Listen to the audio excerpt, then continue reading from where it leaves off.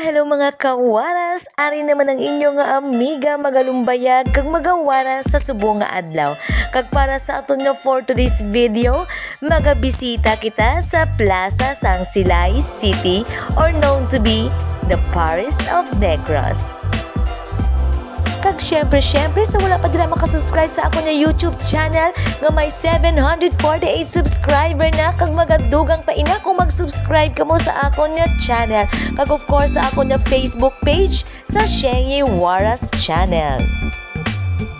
Dali na updan naton ang mga taga Silay City para sa ilang Yuletide holidays for the whole month of December with its Christmas Village 2022 sa ilang public plaza. Silay, being the heritage capital of the province, traces back the concept of transforming the plaza into the Christmas village. Following the switch on ceremony last December 8, the plaza has become the enchanting city of lights.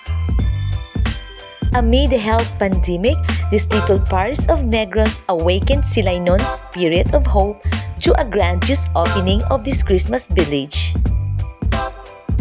As you can see, aside sa mga dashing light nga Christmas lights that hanging on the trees, may mga nagkalain-lain man nga mga Christmas tree nga gin-represent sa nagkalain-lain nga barangay sang Silay City.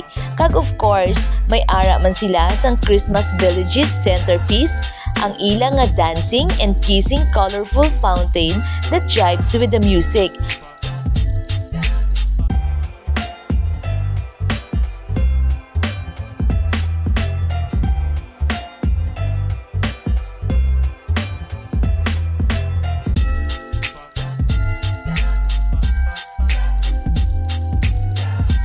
Course, ang pinaka-importante is may ara man sila sang pinakadako nga Christmas tree nga ara nakabutang sa tunga sang plaza.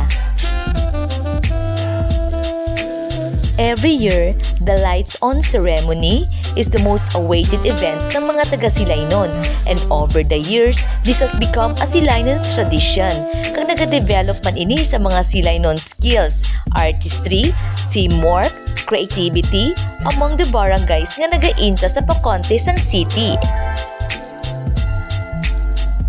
Sumadamo gid ang naga-stroll diri sa public plaza sang Silay City.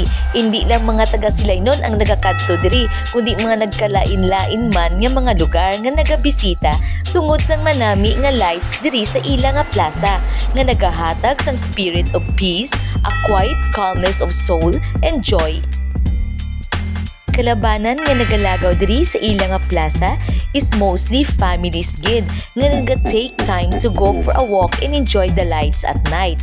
This is what Christmas is all about, the gathering of families and more importantly, it's free.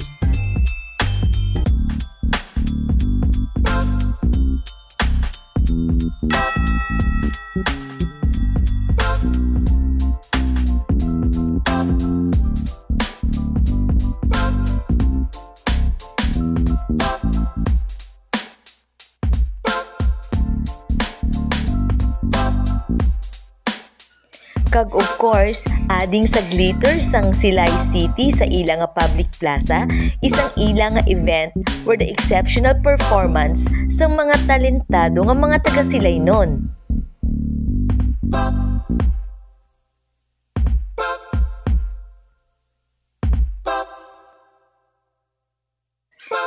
For most Filipinos, Christmas is the most awaited season and the perfect time to make wonderful memories with their loved ones. Kag of course, diri sa Negros Island, the holiday merriment, the Yuletide carols are now spreading, and so are the Christmas attractions in fact. There are plenty of stunning Christmas village in Negros that you can visit. COVID-19 inflicts the kills both rich and the poor, making everybody equal in almost all aspect in life. So balance the current situation and cheer up in the darkest moments that thrown in the river of uncertainties. This is our way of celebrating or welcoming the birth of our Jesus Christ. With our Christmas villages, we are spreading in everyone the message of hope, love, joy, and the peace as well as the spirit of unity. So hasta na lang diri mga kawaras ang ato nyo for today's video. Diri sa Silay City or so called to be the Paris of Negros. Until sa aton nga mga next vlog kag sa aton nga mga next videos, kabay nga inyo ako i-subscribe kag suportaran sa ako nga YouTube channel sa Kawaras channel. Thank you and goodbye!